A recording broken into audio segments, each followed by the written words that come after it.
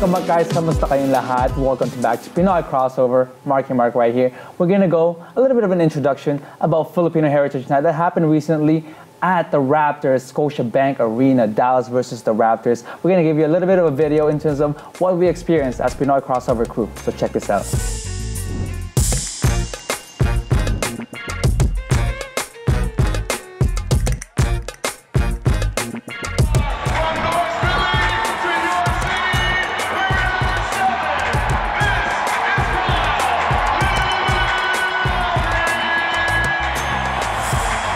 What up, everybody? Your boy PJ. We got JR right here. We got Marky Mark, Filipino TV, Pinoy crossover. We actually made it, guys. We are in the venue, Scotiabank Arena. Now it's called, but it's the Toronto Raptors home. I'm so excited, JR. How do you feel being here? I mean, it's a great stepping stone from what we've, accomplished from Raptors 9 to 5. You know, we covered some a lot of Raptors 9 to 5 games, uh, including uh, some Filipino Heritage Nights. So this is just a start for us. You know, bringing bringing that whole night event here downtown Toronto and with the actual Toronto Raptors is a, a big step for us. And you know, hopefully we have future Philippine Heritage Nights like right here, Scotiabank Arena. it's hard. It's hard to think about it, but this is an amazing night. It's a big milestone because Toronto Rap, the actual Toronto Raptors, has really gracefully and you know hosting us as Filipinos here. Marky Mark, how do you feel about being here?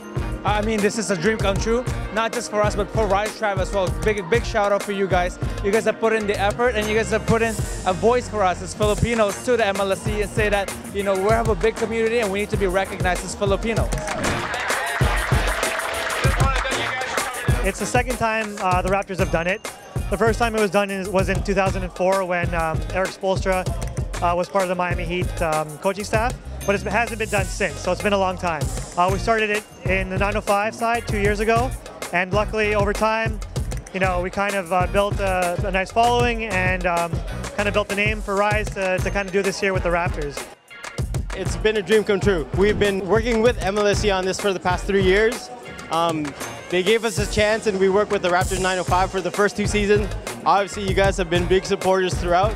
And when it came time for the 2018-2019 season, they came up to us and we were like, we're ready to do it for 905 again. And they're like, yeah. But by the way, let's let's level up. Let, let's go bigger this time. Let's work with the Raps. And you know, you don't have to ask me twice. I was like, we're in. It's been really great. Like we had a couple activations that we were involved in earlier today, which I think went off with a hitch. And now we're at the game. We're all enjoying it. It's been such a great event. Actually, in the morning, we were invited as Pinoy Crossover to play on the court, and we played with a lot of different Pinoys from the Rise Tribe. It was great. We got our cardio on. We got some shots. We got a newfound respect of the NBA players playing on like NBA courts. The three-pointer is really far. So if you've ever seen Curry play, mad respect. This guy can shoot lights out from that far. I don't know how anyone can do that. Now this game is Dallas versus Raptors, and what makes this game really special is, again, we're at the gondola right now. This kind of gondola, this is full with Filipinos all supporting this night, and it's, it's special because this is what brings people together. Basketball brings people together, and it's just fun seeing familiar faces, but also having a night for Filipinos is something that will go on for a long time, hopefully, for the Rise Tribe. Yeah, I know. Events like this, I think we're around people that we know, the community, even people that we just met, like new people coming through with Rise Tribe. It's a very special event. You know, we build memories off this, and this is just, again, a stepping stone of what more memories we could build with this, all this community, especially with Rise Tribe. Rise Tribe has done a great job in uh, hosting uh, this type of event, uh, past events at Raptors 95, and also the one tonight. You know, I hope that uh, it inspires young kids to know that, uh, you know, we have a great community, we have great people involved, great people that you can look up to, and uh, just be proud of your heritage. That's all. Why? That's the only reason why we're doing this.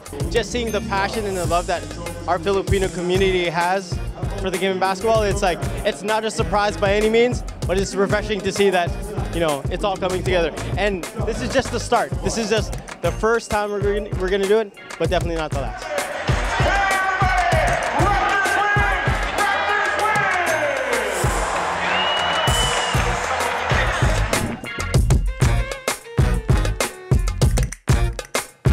And what a great experience that was to be part of Filipino Heritage Night, the very first since 2004 they've had it. Shout out to Rise Tribe for really putting this all together. Mm-hmm. Uh, out of the video that we saw so far, what do you guys thought about the experience, or just seeing the video, seeing the experience, or seeing the people that are really putting this together for Filipino community? I mean, obviously I wasn't there, Yeah. But just seeing the video and seeing how much work, I mean, to organize something like that and to be able to connect to the right people to do that.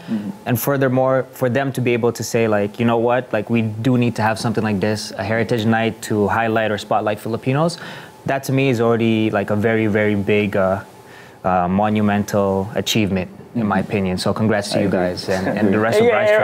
everyone, everyone, everyone in the Oh, man. Philippines. Everyone in the Filipinos This is should, very special for community us. should celebrate. This is a big milestone for us, guys. I mean, to be part of something like this, Mm-hmm. to start something like this, to have a voice. I mean, a Raptor organization like this, this big in Canada, is recognizing our community.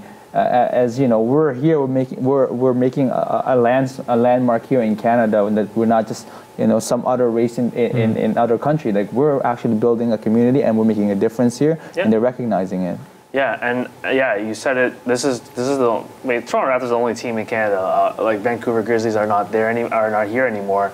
Uh, but acknowledging uh, Filipinos within the team that's the only team that's very supportive with the whole country, uh, whole- whole country backing them is is pretty special.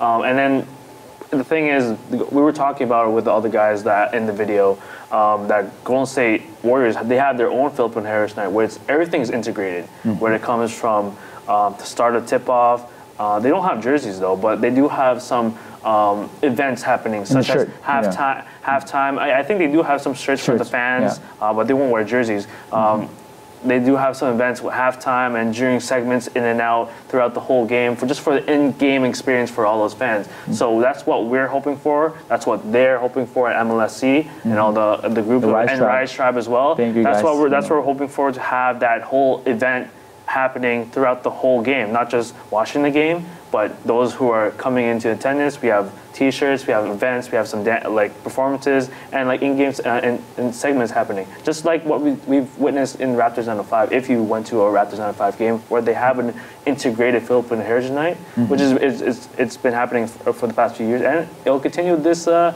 later this year.